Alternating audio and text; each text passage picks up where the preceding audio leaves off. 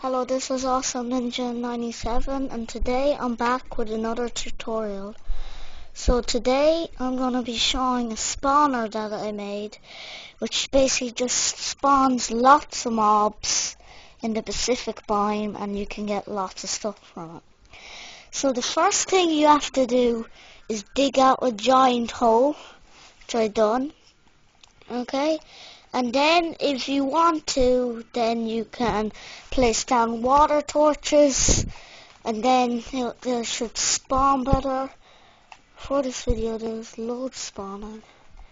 Where are they all gone? Oh, blood jellies. Oh, sorry about that. Um, then you might want to add these. That was from earlier on. I didn't break it. Then you might want to add some dart traps to attack them. And then lots of mobs will just keep on spawning. The water doesn't have to be here. It's just here. So yeah, this this is my farm and as you see it works quite good. This is going to be a short video. And I got 92 souls a night and 70 ichor.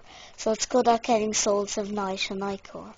And the biome I'm in is in the Crimson Snow biome, I believe it's called.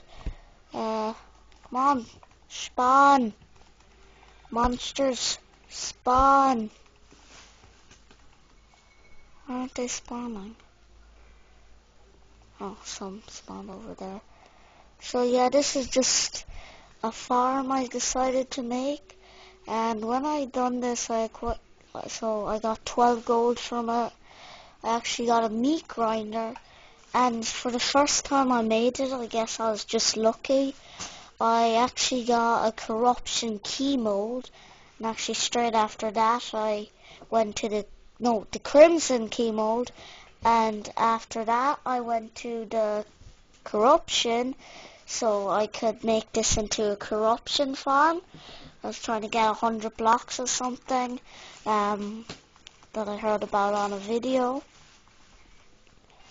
Uh, yeah. So uh, the first two mobs I killed there, I actually got a corruption key mold. Just a little story to tell you. So as you see, this is farm is working quite well. The only problem about this is you could die. So, what I'm probably going to add later on that you can add is maybe you can add some lava pits or something. Something like that. And then you can add maybe honey to keep you alive. So, yeah, you see there's a few new stuff I got when you're gone. Uh, I got these, which I'm happy about and I figured out how to show my body from the very start. I made this character, which is cool, but I switched it, and it has this cool effect of glowing like that, which I like. Oh, the blood moon is running, rising, okay. Uh, yeah, so I just wanted to show you this farm. So I hope this helps. That has been all of Awesome Ninja 97, and I'll see you next time.